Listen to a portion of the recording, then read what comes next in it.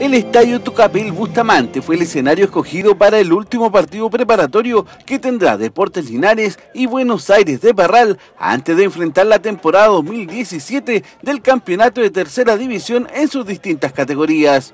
En la cancha, los parralinos mostraron un esquema de juego compacto que complicó a los albirrojos pese a no haber concretado todas las posibilidades que tuvieron para marcar. Solo en dos ocasiones anotaron lo que fue suficiente para quedarse con la victoria. Sí, se viene un bonito desafío, estamos preparándolo aquí con estos partidos amistosos, estamos haciendo bien de la mejor forma. Y ahora seguir la otra semana que vamos a ir a la montaña a correr para la pretemporada.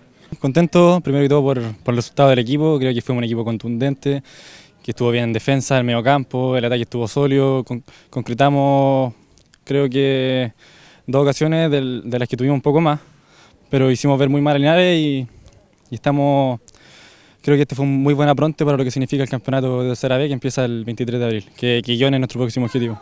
En Deportes Linares, pese a sentir la derrota, sacan lecciones para mejorar su esquema de juego y alcanzar el objetivo de regresar a la segunda profesional. Un partido amistoso, no se dio un buen juego a nosotros, pero a poco mejorando y pensando muy positivo a que el campeonato va a ir súper bien y, con el objetivo principal es subir a segunda edición. Mientras la dirigencia busca encantar nuevamente a la hinchada, así es como la incorporación de socios es una de las tareas fundamentales para motivar a los jugadores. Estamos haciendo una campaña tremenda, hemos hecho como corporación un, un esfuerzo tremendo en reactivar la institución.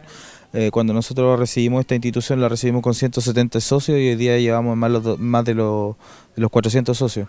Por lo tanto, para nosotros ha sido un trabajo importante, pretendemos seguir sumando socios, pretendemos seguir sumando empresas. El domingo 23 de abril comienza la temporada para ambos cuadros. Linares iniciará en la tercera A y Buenos Aires de Parral lo hará en la tercera B.